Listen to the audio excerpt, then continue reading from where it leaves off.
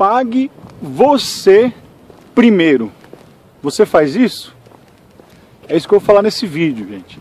Seja bem-vindo a mais um vídeo do canal do Dani Edson, fazendo mais uma caminhada e mais um vídeo muito importante, uma das mais importantes lições de educação financeira, né? Que a gente deve aprender. Você paga a si primeiro?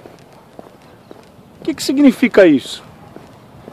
Imagina, você trabalha o mês todo, recebe seu salário, sai pagando todo mundo, paga todo mundo, mas não paga a si mesmo. Como assim? Todo mundo quer pagar as contas, né? Quer pagar as dívidas. E isso está certo, a gente tem que pagar as dívidas. Mas quem que trabalhou? Quem que se esforçou o mês todo para receber esse salário, esse pagamento? Foi você. E no final das contas você ficou sem nada para você. Então, pagar a si mesmo primeiro significa que antes de pagar todo mundo, você separar uma parte desse dinheiro para você. Mas não é para você comprar um celular mais novo, trocar de carro, agendar uma, uma viagem dos sonhos, não. É para você aplicar esse dinheiro investir esse dinheiro, poupar esse dinheiro, para você sempre ter uma reserva financeira. Primeiro isso. Eu já falei sobre isso, sobre esse assunto, em outros vídeos, que eu vou até colocar o cartão aí, você pode dar uma olhada. Mas hoje eu quero bater um pouco mais nessa tecla, que é muito importante. Pagar a si mesmo primeiro. Você reservar uma parte do que você ganha e aplicar esse dinheiro, poupar e guardar, né? investir em alguma coisa, primeiro com o objetivo de fazer uma reserva para emergência, um fundo de emergência. O que, que é isso?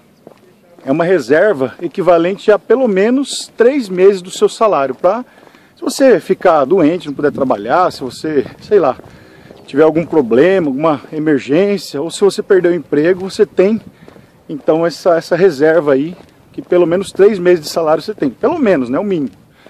É, o pessoal recomenda de 3 a 6 meses.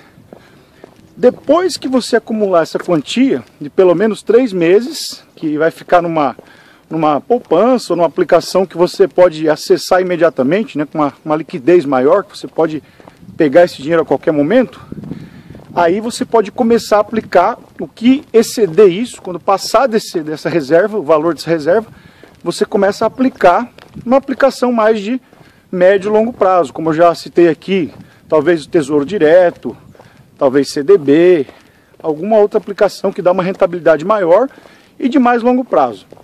Mas o objetivo é esse, é você sempre ter dinheiro. Porque existe muita gente que ganha muito dinheiro todo mês e torra tudo. E às vezes fica até devendo para os outros. Fica até devendo. A pessoa ganha lá, sei lá, 20 mil reais por mês e gasta 25. Quando acaba o mês, ela, ela tá devendo 5 ainda. Então, gente, isso é absurdo. A pessoa fala, ah, mas é, é, eu não consigo guardar. Consegue, é falta de controle. Você tem que ter um controle, que eu já falei em outros vídeos também, sobre você fazer um controle do seu dinheiro. Você saber tudo que você ganha, tudo que você gasta e eliminar gastos, né, os gastos mais supérfluos, aqueles que não são tão importantes, mas priorizar, pagar você primeiro, pegar uma parte desse dinheiro e guardar. Quanto que é? Quanto, quanto pode ser isso daí? No mínimo 10% do que você ganha. No mínimo, tá? O ideal é que seja 20 ou até mais. Tem gente que é bem controlada e consegue guardar 30, 40%, até 50% do que ganha. Isso depende do controle de cada um e, claro, de quanto você ganha, né? Mas é importante você pagar você mesmo primeiro. Senão você paga todo mundo e você nunca tem dinheiro. Você trabalhou para os outros só, não trabalhou para você. Então, pense nisso, tá? Pague a você primeiro. Essa é a lição mais básica, uma das primeiras mais importantes lições de finanças pessoais.